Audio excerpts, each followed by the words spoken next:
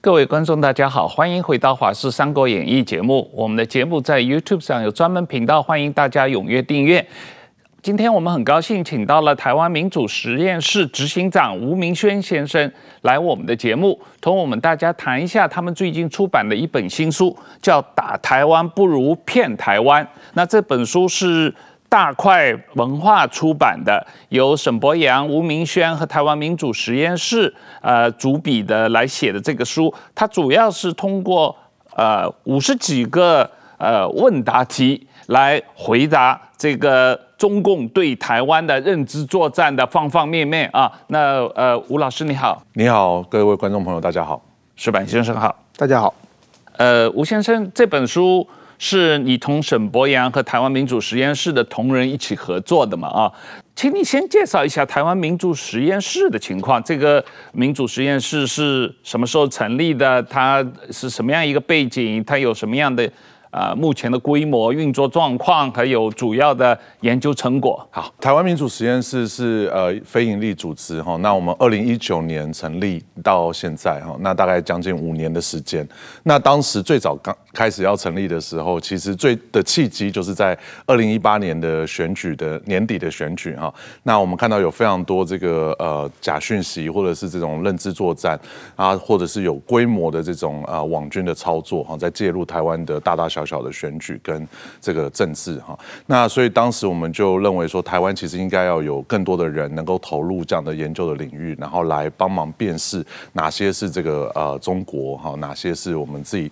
民主社会里面本来就有的不同的意见哈，那怎么样做这个区分？那另外一方面是在二零一九年那个时候哈，其实就是呃，我感觉到这个国际上面其实还不是对中国的这个影响力跟他中共的这些呃认知作战也好，或是他的这种统战在全世界散布的这些大外宣哈，不是那么理解，所以当时我们也。呃，有因为这样的种种的原因，就想说，那我们来成立这样的一个机构。所以，我们不但做很多这种呃跟认知作战有关的研究哈，那也呃做很多这种国际交流，来帮助就是各个地方的公民社会或者是各国的政府去了解说中共在这些呃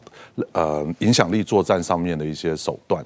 那沈博阳是我们当时的理事长了哈，直到他被民进党征召成为立委哈。那呃，这所以这四年之间，大概也是他来就是带领我们的团队很多的同仁，然后做很多这样的研究。所以今天这本书其实就是把我们过去这五年综合的这个研究成果，就是做一个整理，希望用比较简单的方式哈，可以让就是社会大众呃理解我们在做的事情，以及理解这个议题。这本书我当然仔细读了一遍，它确实很容易读啊，因为它都是问答题嘛啊。是。那然后一般这个中学生也能看得懂，然后这个呃呃长辈们也能看得懂啊。这个呃每一题都可以单独的拿出来看啊。那这样的话是非常易读的一个东西。那我们就直接呃来谈这书里面提到的一些内容好了。先讲。一个基本的概念啊，中国对台湾的认知作战。那我们先要回答什么是认知作战？常见的认知作战的方式有哪些？对。那这个认知作战哈，其实就是一个呃非常呃重要的这个统战的策略一环，然后就是他们对于呃这个呃我们就说这个书名叫打台湾不如骗台湾嘛哈，就是针对这个呃他可能有的侵略的行动，或者是他的其他的政治的目的，他用这种呃影响这个民主国家或是民主社会的选民啊的想法啊，那这是一个国与国之间的一种作战的方式哈，所以我。们其实呃也感觉到说，哎，其实很多人会把这个政党之间哈，就是台湾这个国家里面政党之间的这些攻防哈，就是也称之为认知作战。那我们觉得不完全是。呃，正确了哈。那对我们来说，这也是我们想要出版这本书的一个其中一个契机哈。就是我们来谈说，哎，既然叫做作战，那这个作战是国与国之间的呃的这种作战的手段嘛？那它这个作战它的手法大概是哪些哈？那我觉得常见的大概就是包含就是去试着分化啊不同社会上本来就有存在分歧、不同意见的人哈。那我们看到在尤其是在美国哈，或者像台湾这种呃比较 polarized 的。的这种呃地区哈，那我们常常看到这种啊案例，就是说他会在某一群人里面呢，不断的散布，就是说另外一群人很坏哈，嗯，那另在另外一群人里面呢，他也散布同样的道理哈，所以他不是只有帮着某一群人，好去特别。站边哪一群人？他是希望两边打起来。对他希望两边打起来哈。比方说，在美国呃，二零一八的案例哈，就俄罗斯的网军在推特上面，他会在左派的社群里面呢，不断散布说，哎，你看这些白人警察哈，就是打黑人啊，这些非常的可恶哈。那就是要把对手形塑成他们是敌人哈，是是坏人哈。那让这个社会呃，进而就是分化跟分裂。所以如果说呃，在台湾的案例来说，如果大家觉得哎，政治立场跟我们不不一样的人啊，他很坏哈，或者是觉得怎么有这样的那个哈，那有可能是认知作战在背后的操作哈，因为他的目的是为了让这个社会呃呃没有办法就是取得共识哈，没有办法团结。那尤其是当我们像是在国防外交这种需要呃整个国家高度共识啊，才有办法往前的这种政策，那如果这个社会之间是没有办法对话的话，那就呃正中我们啊。敌敌方的这个下怀，这样子。嗯，是是板先生，我们以前曾经有说过，这个打台湾不如买台湾，现在变成打台湾不如骗台湾。台湾是不是很好骗？我觉得，嗯，也有好骗的地方，也也有比较不好骗的地方。但是说，我觉得，呃，就是说，一个是。欺骗啊，一个就是说挑动内部对立了。是，我觉得，但但是在台湾，像这个民主实验室，我也过去采访过，我有写写过很多文章。但是如果说我在我写的文章在日本发表的话，日本的民众基本上。能够基本上的民众能够接受我的想这种想法，因为日本民众百分之八十九十是对中国有强烈的这个警惕感嘛，嗯啊，那中国也通过各种方法在对日本进行渗透，但是在台湾，我只要一提认知作战四个字。嗯。大家话马上反应是，就是有一群人会反应说啊，你是你们是民进党的侧翼，嗯，所以只要一提认认知策战的话，马上就在政治上给你划分分分化，嗯，我这样的话，其实我觉得，当然说，我们觉得我们并没有任何要帮助民进党选举或者支持民进党的意思，但是认知作战确实是一个台湾非常非常深刻严重的一个问题，嗯，但是这个问题在台湾很多人是不能提的，而且很多人一听到这四个字，这条件反应。就是说，他也许在别的理由不喜欢民进党，但是一提认知作战啊，那那你们是民进党的侧翼，这个我们就拒绝听了。他们拒绝听这些，在台湾这样这种人，我至少我认为有三成啊，对，或者是有时候甚至会更多了。我觉得这是一个非常严重的问题，就是这个其实某种意义也是他的认知作战的成功嘛。嗯，就是说他认他对你的威胁，他然后骗到你认为。不是威胁，而是有一部分人操纵的东西，所以我觉得某种意义上，它是也算是蛮成功的了。是，但是说，我觉得对那有些认知的啊，说中国怎么好啊，说中国怎么生活怎么好，这些东西，我想大部分台湾人还是头脑比较清楚的，他们知道那地方是没有自由、没有人权的地方嘛，所以在这方面是认识的还是蛮清楚的。你这个基本概念就是中国对台湾的认知作战，实际上是一种军事作战的一部分。他就是无时无刻不在，而且即使将来真的军事作战开始了，他认知作战还是会继续进行嘛？啊，那实际上大家也都知道，打台湾实际上是不容易的，不然中共也不会喊了七十五年还没有打过来嘛？啊，那打台湾不如骗台湾，骗台湾就是要用认知作战洗脑台湾人，让台湾人不战而降。他最主要的目的就是要。这个让台湾自己投降嘛，啊，不战而降嘛。那中国对台湾的认知作战的威胁有多大？现在情况有多严重？就如同这个主持人刚刚提到的哈，就是说这个呃打台湾当然是成本非常的高，而且非常的不容易哈。那呃站在呃我们的敌对方的这个角度来想的话，那最好的方式当然是啊台湾人本身哈失去了这个抵抗的意志哈，又或者是我只要用恐吓的方式呢，哎就可以把你逼到这个谈判桌上面来签这个和平协议哈啊等等。所以他针对的这个内容包含就是他要去试着孤立你哈，让你觉得说哎全世界都不可信哈，只有中国哈是可以信任的伙伴哈。美国、日本哈这些西方国家，他们都是骗人的哈，所以他们就会不断的制造这些阴谋论哈，然后试着让你对这些国家没有信心。那同时同步的哈，像我们在俄罗斯乌克兰的这个战争的案例里面看到，俄罗斯也不是只有在乌克兰散布这些假讯息，也不是只有在俄罗斯，他在全世界四十几个国家散布他的这些呃认知作战哈，那就是攻击这个乌克兰，所以他的目的就是为了要降低某些国家对乌克兰的支持哈，某些国家就觉得啊，那我要保持中立啊，啊，这不关我的事啊，哎，那乌克兰好像也有问题哈，所以他要试图制造就这个，所以。放到放到台湾的情境的话，我们就可以想象说，可能在诶，比方菲律宾啊、日本啊，好，那中国可能也会去针对这些地方去做一些认知作战哈，那来针对台湾来攻击台湾的哈，像我们在去年就看过啊，这个印度哈的事件哈，就是台湾要引进印度移工，然后在台湾呃有有人就抗议说，哎，这些印度移工不要进来哈，那就讲了很多很歧视的话，那在台湾当然是没有造成非常大的回响哈，可是，在台湾的主流媒体。真的就是啊，大肆报道之前呢，其实，在印度反而在印度的媒体跟在印度的推特上面哈大爆发出来了。那其实这个是呃，我们认为它是针对哈那个当地的那些那些民众，要让印度人觉得说，哎，台湾人都是这样子歧视我们哈。所以呃，他的目的大概是这些。所以我觉得这个当然，如果呃我们没有办法跟呃。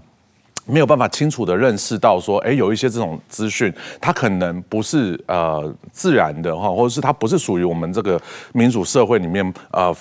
众多这个多元的意见的一部分，而是有人他刻意的呃花钱哈，然后在呃投资资源，而且甚至有战略目的的哈，在进行这些呃呃 campaign 哈，那我觉得这个其实是很重要啊，然后需要大家多理解。你能不能大概跟我们分类一下？你观察中国对台湾认知作战已经五年了，那常见的中国对台湾的认知作战的方法有哪一些？然后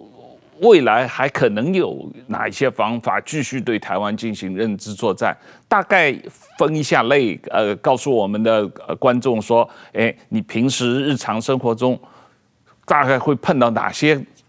状况？实际上背后是中国对台湾的认知作战。其实这个认知作战哈，就是它有各式各样的方式哈。那但是它环绕的一个中心点呢，啊，大多绝大部分呢是它要创造一种虚假的名义哈。这种虚假的名义就是，比方说他用很多这种假账号创造出来说，哎，好像有很多台湾人都是这样想哈，或者好像很多台湾人真的呃对某些事情呃很不满，然后真混在一些真人里面哈，去试着带风向哈。那这个是最。最最常见的方式，那又或者是创造虚假的名义，有时候他也不一定要用假账号。好像去年我们就有一个这个媒体被起诉了嘛，那就是这个记者他从头到尾做假民调啊，那假民调说这个哎国民党跟民进党的五十五十，甚至国民党超过一点啊，所以不要投给第三势力等等啊。那后来发现这个人记者啊，好像有去中国来往，然后有收钱等等，那所以他后来被起诉了哈。那可是他的目的就是这样，他创造这个虚假的名义，是为了要去试着影响中间选民，或者是还没有决定、还没有做决定的人，哈，然后让大家觉得，哎，好像别人都这样想，哈，所以这个是最主要的这个呃核心，哈。那透过不同的管道，比方说媒体对媒体的合作，中国的官媒，哈，他会直接的进到呃某些台湾的媒体，跟他们签合作备忘录啦，甚至直接呃有这个在直播节目的这种合作，啊，或者是像。二零一九年的时候，这个呃路透社 Financial Times 都说，这个呃呃中国时报的记者呢，有有这个有呃记者。给这个这些外媒看到，他们跟国台办签 M O U，说每天会有人打电话来到编辑室啊，决定头版是什么。那这些啊是媒体的合作，或者是刚刚讲的这种小粉红，对不对？它有很多这种网络上的这种真真假假，可能是机器人，可能是网军啊，也有可能是真的中国人，你分不清楚啊。那又或者是这种透过台湾的在地代理人，他用这个公关公司啊，去找一些网红啊，然后来自播一些特定的节目啊，它是有脚本。的，那你就所以你会看到很多人在同一时间在抖音也好，在 Facebook 上面也好，讲一模一样的话啊。那他们是真人没有错，他们也是台湾人没有错。可是这个背后是有公关公司哈，就是在给他们这个资金，给他们脚本哈，要求要求他们讲特定的这个叙事哈。所以大概是有这些方式。石板先生，你也有注意到，最近好像有一个例子说，台湾有个电视台做政论节目的时候，中国有记者在政论节目的现场就指挥他们应该问什么说什么嘛啊，这种状况。那但是更多的像他说的，在各种社交媒体上面有许许多多账号会制造一流量，大家同一个时间啊，对某一件同事情同时发布。类似的声音嘛啊，然后就会造成一种一种好像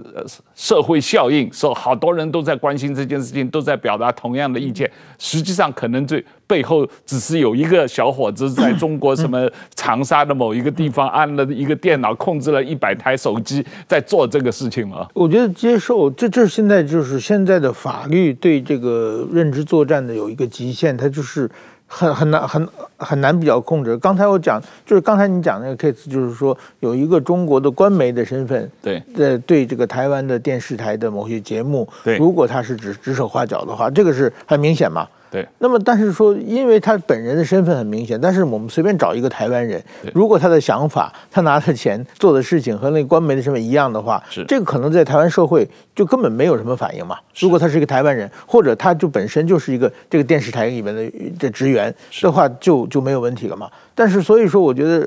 这这种事情是非常非常多的。另外一个就是说，我们在网上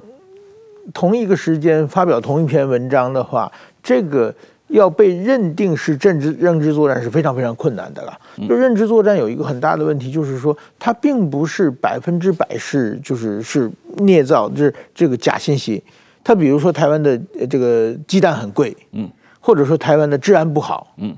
然后他举几个具体的例子，这个确实是有这个事情嘛，只是。这个事情可能，比如说台湾鸡蛋很贵，如果把你退几步放在全世界比起来，那个时候全世界鸡蛋都贵嘛。对，那台湾鸡蛋很贵，这也是理所当然的事情。但是他把全世界的呃这个鸡蛋很贵的事实隐蔽出去，只只比较台湾的和过去，这样的话就容易变成这个人质作战的。另外一个呃就是说，比如说治安不好，治安不好的话，他举几个具这个恶性的治安的事件，这个确实是事实嘛。但是说，如果说你在台湾的历史上比起来，嗯，现在治安是非常好、非常好的。但是他把这个事实引引过去了，这是明显的造成带风向的事情。但是这个如果说你要是去法律去判判他，因为他没有讲旁边的事实的这个背景资料，这并不违法嘛，嗯。所以说你很难判断他是有罪的。所以说现在的认知作战，在现在的法律上，其实即使你拿到证据的话，你也很难就是在现在法律予以处罚。这是一个非常不光是台湾，也是全世界都面临的一个问题。对，而且他那些在网上留言的很多人，他可能就是一个水军嘛，他人根本就不在台湾嘛。对，你你即使抓到这个人，你知道他就是一个境外的 IP，你也拿他没办法嘛，对吧？对对对，如果如果我如果我是一个。呃，比如说我是一个中国人，嗯，我我写台湾的这个治安很不好，鸡蛋很贵，嗯，那你抓我的话，你拿拿拿什么法律来判我啊？我人也在中国嘛，对啊，对对对，对啊，对啊，所以这个呃，吴吴先生这个认知作战啊，在社群平台上发生，嗯，能不能更？专门就社群平台的状况做一些讨论，特别像演算法如何加剧了这个认知作战的问题啊。某一些像呃抖音、TikTok，它的演算法又很特别，跟别人不一样，它使得这个认知作战的的的问题变得更严重。那中国认知作战真的对台湾选举，比方举个例子，对台湾的二零二四年的大选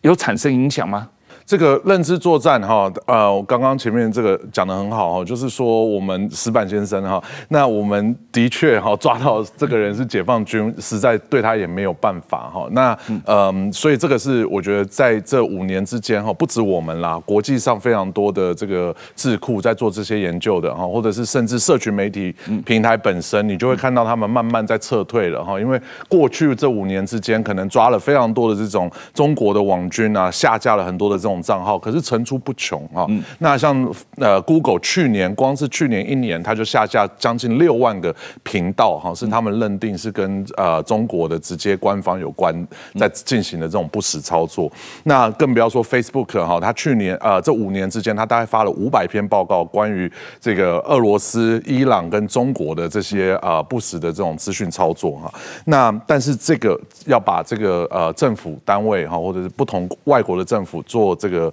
嗯。就是阻止他们继续这样做，真的是非常困难哈。那社群演算法其实是这样，就是说认知作战，就像刚刚石板先生说的一样，就是呃，它是真真假假，它有可能是用真的事情，但是它要片面的，或者要带一个风向，那这个是。共产党最擅长的，讲白了就是说谎了哈。他们对他们自己国内的人说谎，那非常的这个成功哈。这七十年来，那他不止说，他之所以可以成功，就是他不止说谎，他还同时阻止别人说真话。所以呢，他做很多这种媒体管控，有人说真话呢，就把你这个呃消失啊等等。那所以呢，呃，在民主社会里面，本来他做不到这件事情。本来就算他的谎言进来的话呢，哎，因为你这个民主社会有言论自由嘛，你有很多。不同的这种资讯的管道，那本来每个人他有机会被铺路跟接收到不同的这种资讯，哈，就好像我们电视台做政论节目、做啊新闻，它要平衡报道一样，哈。但是社群媒体演算法其实是把每一个人关进了他演算法里面的这个呃不同的这个 bubble，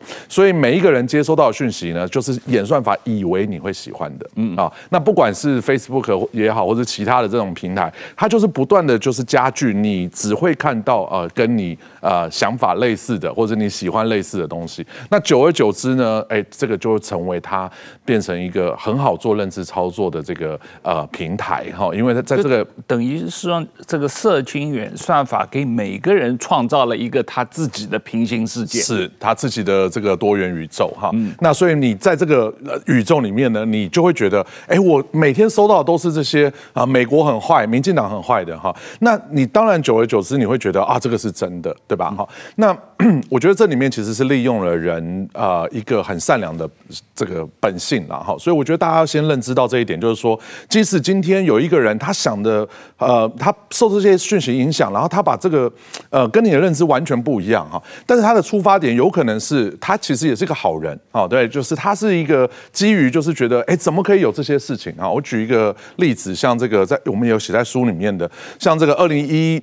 六年哈，在美国这个希拉蕊跟川选举的时候呢，呃，有一个阴谋论哈，就说这个有一个披萨店，这个披萨店里面呢是恋童癖者在就是呃贩卖儿童的，好，那就是这个阴谋论盛嚣尘上啊，说跟希拉蕊有关系，直到最后是有一个男的他带了一把枪冲进去那个披萨店里面呢，说他要去拯救那些小孩哈，那在。当然他是后来被关了哈，但是在他的这个人的故事里面，他不是坏人，他是英雄，因为没有人要去拯救这些小孩，对不对？所以他相信了这些，所以我觉得大家也是我们希望能够跟社会来沟通，就是说，哎，这个。相跟你相信不一样的事情，立场不一样的人，他有可能不是坏人，他有可能也是站在哎想要为台湾好，想要台湾就是和平啊、安全等等这些立场上面。那我们至少找到这个共识以后，想一个办法是可以再进一步的去沟通跟去对话。所以我觉得这个其实是很重要，就是我们要让我们每一个人啊，就是创造一个多元的资收。接收资讯的环境哈，而不会像啊我们在这个平行宇宙里面一样啊，那就好像我们活在每一个不同的中国啊，就是每一个人活在一个不同的被媒体管控的这个这个圈圈里面。就你的观察，二零二四年的大选，中国认知作战对台湾选举产生影响吗？影响力哈，真的是一个非常难做调查的啊，跟研究的哈，需要一个很长期的，嗯，跟很多经费的研究方法了哈。所以我们能够做的事情是大概了解一下这个关联性哈，没有办法直接说有影响。那去年、今年的呃总统大选呃年初的时候，选前一周，我们自己有做一份民调啊，电话民调。那这个民调里面，就是我们去问一些常见的，像是以美论啊，或是一些呃认知作战常用的一些。论述哈，来了解一下说，哎，台湾的民众相不相信、买不买单这些叙述哈。那其中我们看到，其实比较隐呃大的隐忧是，呃，我们的这个蓝绿啊白的支持者是真的分化的很严重哈。那比方说，如果谈到说，哎，像是这个呃。有一题我们是问说，你是否觉得民进党跟呃共产党没有区别哈？那台湾缺乏言论自由？那当然，民进党支持者百分之九十几是不支不同意的哈。但是在国民党的支持者里面有将近这个呃七成哈是认同这样的叙事哈。那呃，民众党也有过半的支持者是相信这样的叙事。那当然，跟其他的以美论有关的，你也看到非常巨大的差别哈。那甚至我们有问说，你觉得乌俄战争谁应该要为乌俄战争负责？哪一个国家哈？那我们看到国民党的支持者哈，跟民众党支持者不一样。那国民党支持者有将近五成认为是美国要为乌俄战争负责哈，那也是最高的。那所以我觉得这个其实嗯。呃，显示说哈，就是我们的确在台湾里面有一些选民，他是受到这个呃，他的这个呃，对这些议题的选的，他对这些议题的看法哈，其实是跟中国认知作战他背后想要传达的这些论述，其实是一致的哈。然后这个一致性跟同步率是越来越高。所以这个吴先生，这个 TikTok 抖音为什么这么危险？嗯，台湾是不是应该禁止？美国国会通过。法案说要禁止抖音嘛，禁止 TikTok 嘛，台湾是不是应该学美国也通过法案啊，禁止抖音和这个 TikTok？当然，现在国民党控制的立法院应该是不可能了。嗯，这个。你们怎么看这个问题？我觉得哈，这个呃，我们先讲美国好了哈。那在美国呃，在美国跟台湾一样，都是非常尊重视这个言论自由的地方哈。那我觉得台湾也尤其也是哈。那毕竟我们是曾经有民主前辈，像郑南荣这样子，我呃，为了捍卫百分之百的言论自由而自焚嘛哈。所以在台湾，动辄只要谈到。这种管制哈都会引起非常大的反弹，然后即使是民进党的呃支持者，他们然后也会有啊很大的这个不不同意哈。但是 TikTok 呃，我觉得这个讨论在美国啊也是有很两极哈。那直到哎后来他们想要 ban 的时候，TikTok 其实是 mobilize 它的 user 在它的平台上面要求它的这个使用者打电话给美国议员嘛。那这个其实反而让很多本来不支持或者没有那么同意要呃，禁止 TikTok 的这些人啊，就是议员啊，就马上觉得这是一个警钟，因为这个是呃，等于是外国势力哈，或者一个国外控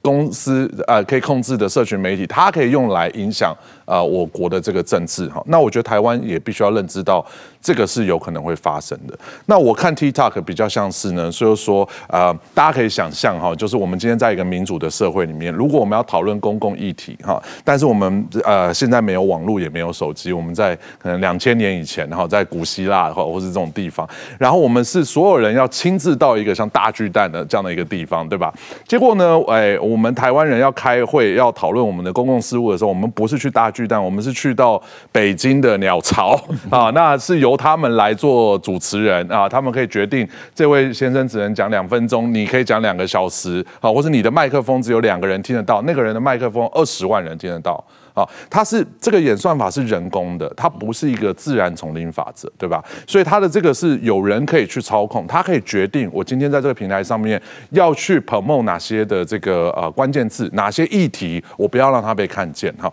所以如果我们把我们的政治跟呃公共事务的讨论放在一个 TikTok 或者像这样子是由中国企业、中国政府啊可以来控制的这样的一个。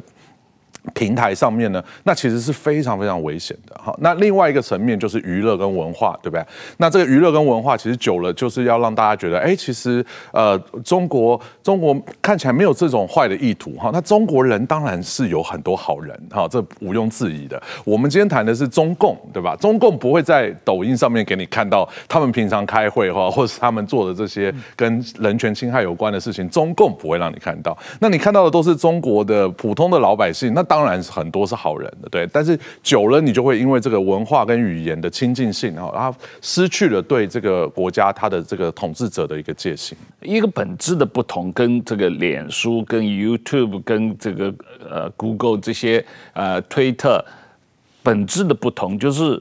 抖音和 TikTok 它是中国政府可以直接控制，对它中国有明确的法律，像这种公司是。第一，他们都有党委会；对，第二，他们都有政治审查员；第三，他们的任何的这个 data 收集来的资讯都要直接向中国国安单位报告的。所以，其他那些个美国的我们平时用的社交平台，它都是私人企业，它它不会向美国政府报告它的资讯的。所以这是一个很本质的不同。是对，那这些公司哈，尤其是在。中国做媒体、社群媒体哈，网络这些是特许行业啊，对，不是每一个人随便都可以做的啊。那呃，党支部也是，你党支部就是共产党的官员，还不是中国呃人民共和国的呃官员，是共产党的啊官员进到你的这个公司里面去审查你的这个言论哈是否符合符合他的呃意识形态等等哈。那这个是我们在所有其他西方的。媒体的这个社群平台上面，你不会看到的啊。那所以我觉得今天呃，常常外国人问我们说这个呃，TikTok 大家怎么想？我也会举个例，如果今天 TikTok 的呃，如果今天 TikTok 的母公司不是中国哈，是在俄罗斯，那我们今天可能早就停止这个讨论了啊，对不对？因为我觉得这其实还是有一个问题，就是说呃，绝大部分的国家对中国的中共的本质哈，并没有那么清楚。嗯，是是，那。中国当然对其他国家也进行认知作战了啊！你刚才讲，绝大多数国家对中国的中共的本质没有认知那么清楚，嗯，但是中国可见中国大外宣是有效的了。在某些地方的确是非常有效哈，就像我前面说的，就是他要去分化不同社群的人哈。那在对不其他国家的时候，呃，台湾以外的地方呢，它绝大部分是分化国与国之间呐哈。那比方说在南美洲或者在非洲哈，他做了非常多的这个媒体的投资，好，然后跟当地的媒体合作，或者是在当地直接办媒体哈，或者是啊透过“一带一路”等等哈，这样子去宣传，不止宣传自己哈，也会去加剧就是那个地区对啊可能。有一些殖民历史嘛，好像南美洲啊、非洲有很多地方，它是有殖民历史的，但是它就会去强化那个殖民的历史，来去呃营造反美或者反一些西方呃国家，或者是像现在是反北约啊等等的这些言论哈。那事实上在我们这个区域，我们也有看到，因为我们现在跟呃印太地区的很多国家的这个公民团体来合作哈，就是来做这样的联合的调查。那比方说最近我们看到就是在韩国哈，就是也。有中国的企业啊，伪装成不同的新闻媒体，制造了非常多新闻媒体的网站，然后同步的散布一些啊这种阴谋论哈。比方说，呃，其中一个阴谋论是大家可能呃去年也有看，在台湾看到，就是说这个美国在韩国制造生物武器哈，就盖这个生物实验室，盖生物武器哈。那去年我们也看到台湾也有这个哈。那这其实很特别，如果我们只看到单一的讯息，比方看到台湾的，那可能有的人他就相信了，觉得很严重，对吧？可是如果你把这个讯息拿出来，跟在同时间在全世界各地，它是一个，你就会发现它是有个 pattern，它是有一个呃固定模式，对，有个写法都一样。当我看到就是这个 韩国也有，什么国家对，当我看到可能一百年前这个俄罗斯就在呃欧洲很多地方讲这个生物实验室的这种阴谋论的时候，你放在一起看，你就发现这个是一个剧本哈，它其实背后是有剧本，它有目的在投资在这些论述上面。石板先生，这个不知道有没有观察这个中国大外宣对于日本的渗透的效果怎么样？说真的，也有一定的效果吧，但是说相比台湾的来说，毕竟还是弱得多了。嗯，我觉得日本的话，首首先日日本的跟台湾不太一样，日日本啊，就是说有五大报纸或者六大报纸，嗯，然后电视台也只有四五个，嗯，就是基本上是媒体的大集团啊。这是当时说经过淘汰竞争的，所以说这几个大集团的他们互相的，就是怎么说呢？因为他们的这个观众群都是很大，所以说基本上他们双方的意见就是说赞成反对都会放在一边，所以相对起来，日本的这个就是电视台跟媒体跟电视跟报纸又是就是一个电视台结合一个报纸，有这么组成媒体集团嘛，所以相对它社会信用比较高。所以在网络上的所谓的假消息，如果没有经过大的媒体的验证的话，基本上相信的人并不是太多了。我觉得，我觉得这一点是在中国另外一个还有语言的障碍嘛，就是说，在比如说我过去在产经新闻，我写写一篇批评中国的报道的话，下面就有很多跟帖来反驳我的文章，而且说我的文章是假的、错误的等等。但是说那跟帖的日语都有点怪怪的。所以说，这个日本人一看就知道，这个这个不不是日本人常用的语言习惯嘛。所以说这这样的话，就多多少少会有一定的限制。但是说呢，某些意意义上还是有用的。比如说，最近中国的外交官，包括驻日本的吴江浩大使，还有驻这个呃大阪的总领事叫薛建，他们就不停在日本媒体还通过写信，就说日本支持台独，日本有一群日本的右翼政治人物想把台台日本绑在台独的坦克上。就再一次把日本卷入战争。嗯，他这种话虽然说的就是说危言耸听，但是在日本的一些左翼团体，在一些就是平时就批评呃日本自民党的人，或者是因为日本几十年前的战争对整个民族和国家创伤很严重嘛，所以日本日本民间的反战的情绪非常非常大。所以说这种认知作战，就是说，比如说上一次赖清德总统他就任。就任的话，日本来个三十多个国会议员来祝贺。当时吴江浩就接受，就中国驻日本大使接受媒体就说啊，要绑在战争，要把日本带入战火。然后那个大阪总领事也给日本国会议员都发信恐吓，就好像日本在支持台独。但是台湾总统就任，日本的国会议员出席，这个是行之有年的、相当长的呃有历史了。另外一个，这些出席总统就任跟支持台独完全是两回事嘛？嗯。但是他就通过这么稍微操作一下，就是赖清德是台独分子，他他怎么样就支持他，用用这种方式呢，非常呃简单的这个，然后去恐吓日本民众，就是有一些人随之起舞了，有一些人，所以说我觉得这个分化日本，他找到一个非常巧妙的地方，我觉得他基本上不成功，但是偶尔的也会成功，一旦成功的话，就会对日本社会造成很大的伤害。是。最近好像还有另外一个例子，就是中国政府假造日本外长的讲话的内容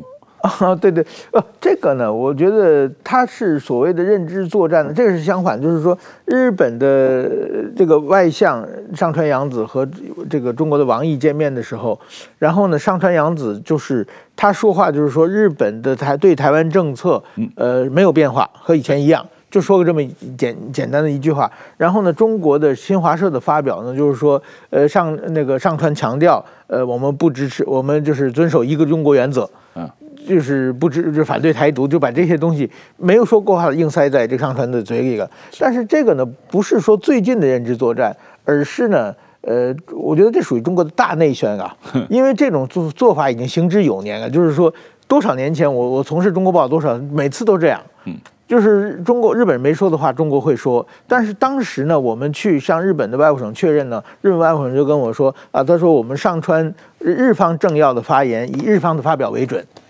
他也不否定，就是过去等于说被中国吃豆腐吃了很多年，但是这一次日本跳出来说这个话，我想某种意义上，一个是忍无可忍了，一个是国际局势发生了变化。嗯，呃，再有一个，我觉得也许是有一些美国的压力，也不一定啊。嗯，但是他他说把这个否把多少年，其实日本就是放置不管的，反正因为中国外交部的发言放在外交部的网站上，或者写在中国的人民日报上，反正是中国人在看嘛。嗯，你中国人看我就不管了。但是这次专程提出来，我觉得这个是日本政府的发生的一个变化。那这个呃，吴先生，我们回过头来讲，面对中国的认知作战，台湾可以如何反制啊？这个台湾从国际社会上面有没有什么可以借鉴的地方啊？你们的经验，这五年观察下来，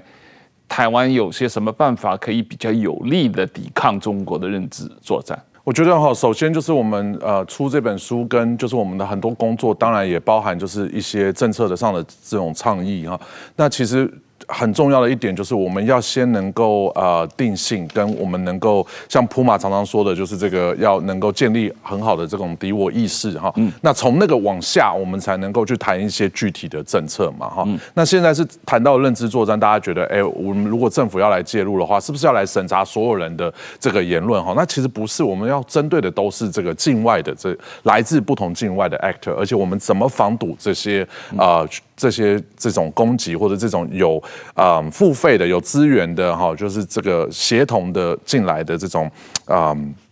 散布这些假讯息的这种行动哈，那所以我觉得呃，面对认知作战，我觉得第一件事情，我们大家要想的是说，中中国呃中共呢，呃把认知作战当成是他们的一个战争中非常重要的一个手段的一环。事实上，在解放军的这个期刊里面有大量，尤其是这几年大量的这种呃论文，他们自己发表的论文就在谈说怎么用这个智脑权啊，怎么用这个认知作战啊，哈，来就是呃影响啊其他国家，他们根本不忌讳。在讨论这些事情，而且他们在研究各种怎么样有效，怎么样不有效。他们有发钱的，OK，他们有有有国家的预算进来的，他有编制，他有他有发包出去哈，他有大大小小不同的单位在做这些事情。那呃，习近平好像最近也有主持中国人民解放军成立这个信息作战部队，没错啊，对啊，那就是呃，是完全是国家层级的解放军的这个一个成立一个专门的部队。来做这种认知作战嘛？对，而且他成立那个机构的目的哈，还包含就是他要整合民间企业啊，收集到的不同的这个不管是各资隐私或者是各种情报，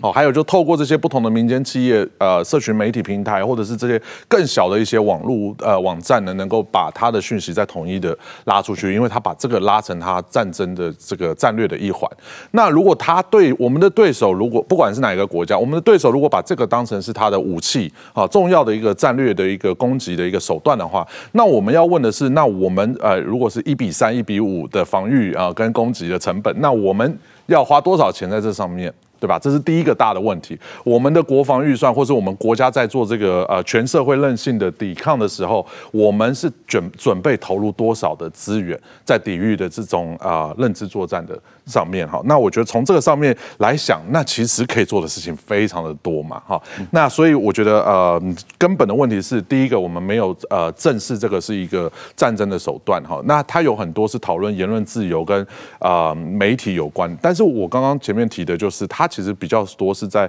网络平台治理啊，或者是跟社群媒体平台怎么样来合作，好来阻止这些啊呃不是真真真真实的用的用户，或者是不是台湾人的假冒台湾人哈，然后再散布这些讯息。但是更重要的是，我们在整体的这个国防的战略上面，怎么把这个认真的当成是一个啊战争前期啊，我们需要抵御跟防御的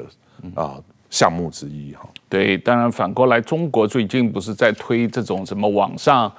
呃，认证，啊，认证号啊，什么网上的这个呃上网要有各种卡，这个等于是说你的公民身份证，呃，然后还要有一个呃上网的卡，上网的认认证号码，你你才是能够实名制的上网，所以在中国是不可能像我们台湾。比方说，组织一个网军去进攻中国就不可能了，因为每个人在中国的网络都是实名制认证的嘛。攻我们组织一个网军呢去做认知操作攻击中国呃没有用啊，因为中国人民影响不了中共政府嘛，因为他们不是民主国家。对那为什么对民主国家有用？是因为我们会投票，我们可以替换我们的政治人物。那就算中共呃中国呃十四亿人、十二亿人都觉得不要打台湾好了，中共想打的话，他就会打了，对吧？所以是他们人民影响不了他们的政府，那我们去骗他人民也没有什么意义哈。对，那当然我们。身为民主国家，我们呃，我觉得这个中中国呃，像习近平或者像普京，他们愿意投资这么多钱在呃说谎，或者是对他的人民说谎，或是做大外宣，最根本的原因就是因为他觉得人类是很好欺骗的动物嘛。那我们作为民主国家，相信言论自由，相信多元的社会的公民，我们就有这个义务要来证明他们是错的。当然了，这个我我们知道，中国中共就是一个大的诈骗集团嘛。那台湾一般老百姓这几年下来，对于防止一般的诈骗集团，什么网络诈骗电话，已经有一些经验了。虽然还是不但有很多人被网络诈骗电话骗到啊，但是。一般老百姓已经有一定的警觉性了。那一般老百姓可以怎么防止反击中国的诈骗呢？当然，第一上来可以先读你这本书，这个我也我也同意。除了读你这本书以外，一般老百姓还有什么办法可以反击中国的诈骗？我们这边想要跟大家沟通的观念呢，哈，就是说这个呃，首先第一件事情呢，就是我们要理解到，就是被诈骗的人，他不一定是呃呃，他不一定是笨，或者是他不一定是没有受过教育，好，或者是不一定是老，这个是呃各式各样的人，每一个人在座的你我都有可能有机会被认知作战，或者被诈骗集团，或者被这些谎言欺骗，哈，因为他就是呃冲着你。的这个呃内心中最柔软的那一块哈，可能是你最有正义感的那一块，最容易你会生气的那一块哈，最容易你会觉得怎么可以这样哈，然后或者是你会呃有情绪反应的那个部分，那呃。中共哈，或者是我们做这些认知作战的那些单位哈，他们呢，呃，